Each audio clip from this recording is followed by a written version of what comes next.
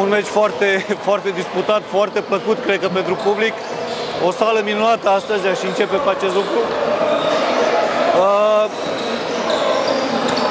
dacă aveam puțin mai multă claritate pe final am avut, am avut șansa, dar să nu uităm că și ei au avut șansa să închidă de asemenea meciul. Așa că eu cred că până la urmă acest double overtime a fost uh, corect, să spun așa. Acolo e, e un hazard, cum în alte meciuri n-am avut claritate, astăzi am fost mai clari, purtați de, de acest public. Pur și simplu la time am uitam la ei, nu mai aveau energie deloc, intrau. Uh, mulțumim mult publicului, uh, e victoria pentru ei.